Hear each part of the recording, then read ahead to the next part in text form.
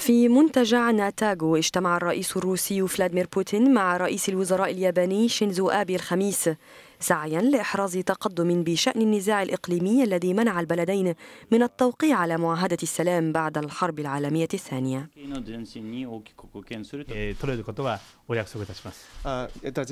وسيجتمع الزعيمان في فندق جبلي في مسقط رأس آبي في جنوب غرب اليابان ثم يجتمعان مرة أخرى في طوكيو يوم الجمعة.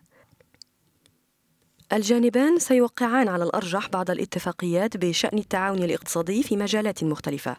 أما فيما يخص القضية موضع النزاع فقد قلل الجانبان من توقعات تحقيق انفراجة حول قضية جزر غرب المحيط الهادي التي استولت عليها القوات السوفيتية في نهاية الحرب.